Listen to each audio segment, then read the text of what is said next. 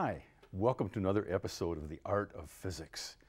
This one has to do with Newton, of all people. And from 1666, I'm going to say 1966, from 1666 on, we've known about gravity thanks to Newton. So that's always fun. Uh, I think we have a graphic that shows what Newton was doing when this idea about gravity occurred to him. Is that graphic going to show up there someplace? Yeah, I don't know if the apple was quite that big, but in any event, Newton figured out about gravity. And of course, things fall because of gravity. Well, yes, they do. But you could wonder if things fall because of gravity, do they fall faster and faster and faster? Gravity 9.81 meters per second squared, going on and on, accelerating down toward the Earth, so that, whoa, things fall from pretty high, then they would be going pretty fast by the time they hit the Earth. So well, we have an expert with us today. This is Diane Budaj. Hi, Diane. Welcome Hi, to Art. the program. Thanks for having me. Sure, you betcha. She's an expert on these things, and so we'll see exactly how that expertness plays out as we do this. But I'm going to show you a couple demonstrations about the physics part of this first. Uh, so you think things fall and they just keep falling faster and faster. Well, no, there's a little fine print here that the freshman physics eventually tells you about. The fine print is this.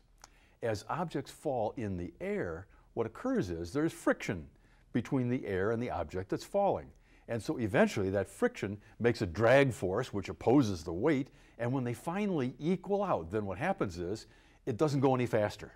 So it goes only at this one speed, which they call terminal velocity, which I don't think you- Terrible term. You don't like that term, No. Okay. Terminal velocity, it has some connotations that we don't like at all. But nevertheless, the point is, it doesn't go any faster. Eventually it goes as fast as it's going to go. So I wanted to show you a couple of things that would hopefully give you a clue about what's happening. Let's see if Greg can get this.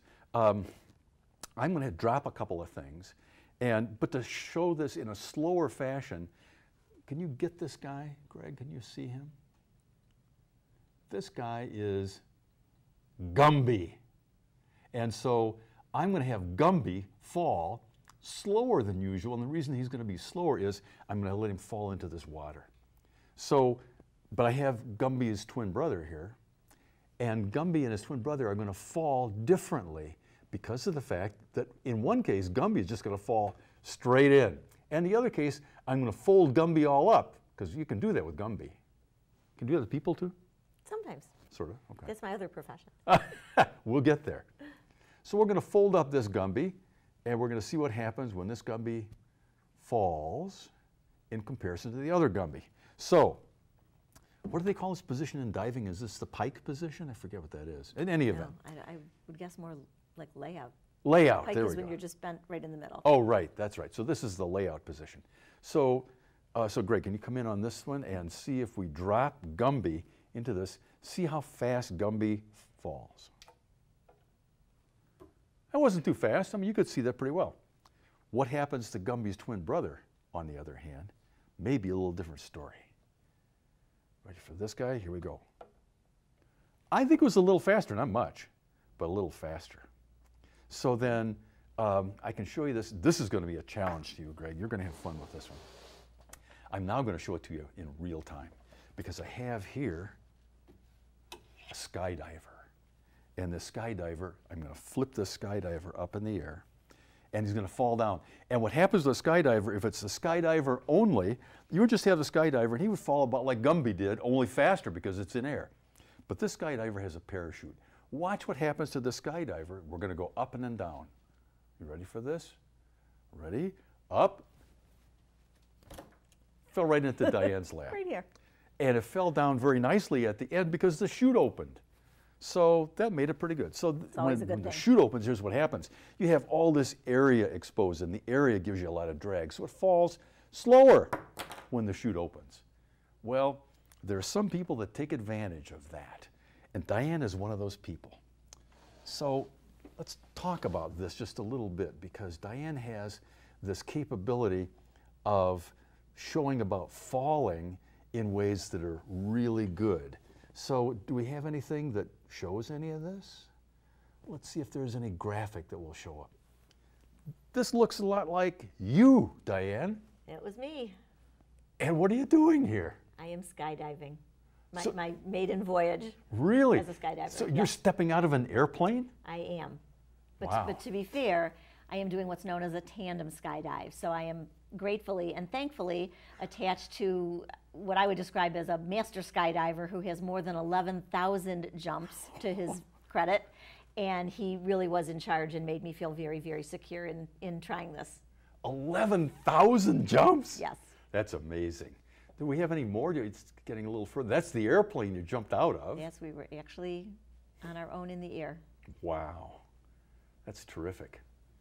There it is, a little further down. Somebody was falling with you and taking uh, these pictures? Yes, there was a um, videographer that's also a skydiver that took some independent video. Wow. All right, so now, now you're free of the plane. And Right. I notice that you're closer to the ground than your partner is there. Right. So is that a good thing? Um, I, I, it, it was just fine, but that's just the way they set it up. You're always in the front. Okay. So there you are. Oh, look at the uh, scenery below. You can see those kind of squares of things that are growing and some brown patches and green. Was that really neat to look at? It was absolutely beautiful. This was um, we did this in Davis, California, so about an hour and a half or so um, northeast, I think, of San Francisco. Huh. Um, absolutely beautiful. Wow. There you are again. Uh, one of those people, is that somebody that you know? Yes. Um, to your left, the guy in the red is the guy that I did the tandem jump Yeah. with, and to your right, my left, is my son, Ah. who did who did the skydive with us. So you can feel pretty confident about that. I did. I really did. Okay, that's good. Wow, glad to hear that. So um, you say this was the videographer that was with you. So there's probably Right. a video. So can There we, is. we play some of that video, Sure. David? Can you rack up that video? Maybe Diane will tell us what's happening here. Oh, there you are. You're getting into the plane. There's your My son. son egging me on. Are those special skydiver symbols that they're giving you there? Did yeah, this is it's my my old mom version is the thumbs up. It's their version is Uh, hang loose. yes, All right. exactly. So, oh, good. Now here's the video. So now you look like you're having a great time. Truly, I was. I, I, I think I told you that I was far more excited than I was scared. It's a it's just a truly awesome experience. they had to. Is that like a GoPro camera? They had to write the camera because it was yes. pointing the so wrong the, way. the little thing that you see now is not the main parachute. It's just a little um, I don't know what they call that one, but it just Drogue gets you righted yeah. in the air so that you're indeed you know vertical. yeah, so you can look down and see what's down there. But right now we are doing what's what's called free falling, and that's my son coming into the right, kind of hanging coming, on swimming there. into us, so to speak, to kind of dock or hold hands, and then he broke off to land. That's the parachute. There goes the parachute. Okay. And, And now then you get this down. wonderful, fairly long time it seems to to just float down. You just feel like you're flying. Wow. I guess you are flying. We are. Now you can actually control that a little bit by uh, pulling on the uh, chute, the uh, what do you call them, the reins or whatever Right, right. are. One can. I, I was feeling a little too um, in awe of all of this experience to do it myself. But the person who is uh, behind me, the, the um, tandem person, Mm-hmm. is indeed um, steering it. You Oh. can steer it. You can do some turns. Oh, that's good. Now you're landing. This is us landing. Oh, the landing looks terrific. You look like you kind of were going down a kid's slide or something. That's exactly what, what he told me it would feel like. We're supposed to lift up our legs and land sitting down. wow. More experienced skydivers like my son will, like my son, there he Yeah, is, there he will land on their feet and just walk away. But Oh, I don't have the experience, the 400 jumps behind me that he, that he has. 400 jumps. That is just amazing. So that was an experience that you did because of a special event. Uh, It, was really done because our son has been doing this all along and telling us how much he really likes it.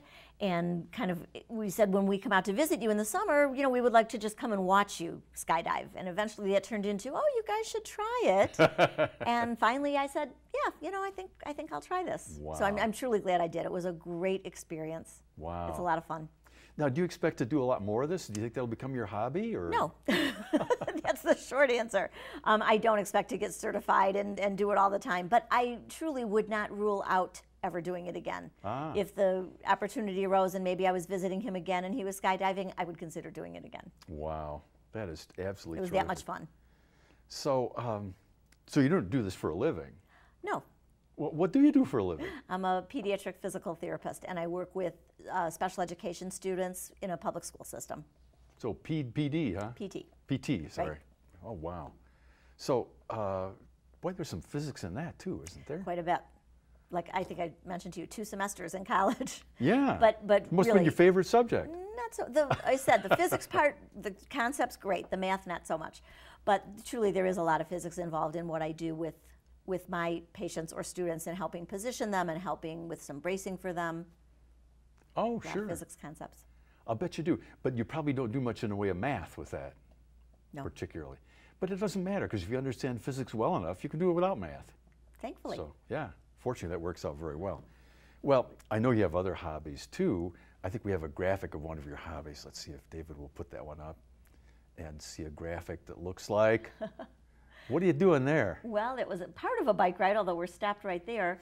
We were on um, l- like a, an all-day ride. I think it was about a 40-some mile ride, and we stopped at the GM Proving Grounds. And as part of this ride, they allowed riders to actually ride on the track of the GM Proving Grounds. It was an interesting experience. Oh, wow.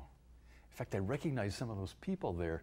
Uh, one of them is Phyllis, who was on a, an earlier program, in fact. Mm-hmm. Right, she's the one holding the sign. That wasn't a hell of a ride, though. That was a different one that Phyllis went on. Right, this was Tour de Livingston, and Tour was Livingston, okay. fall of 2013. Okay, very good. Was that fun? It was really fun. Yeah, that's good.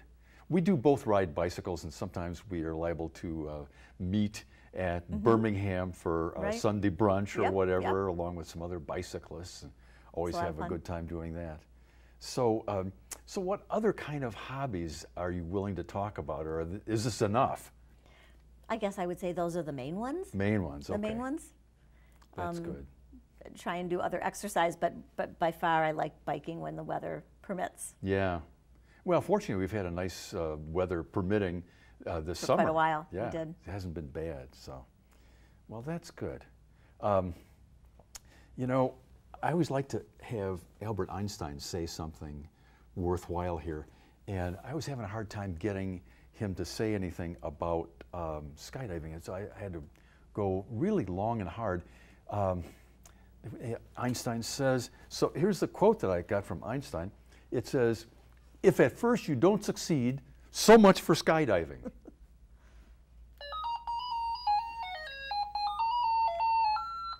oh, uh, excuse me.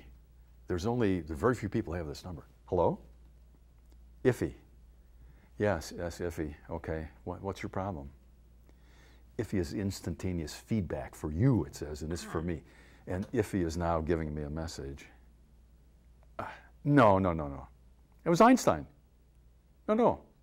You're kidding. You found it on the internet and it wasn't Einstein? Can you show me who it was? Can you?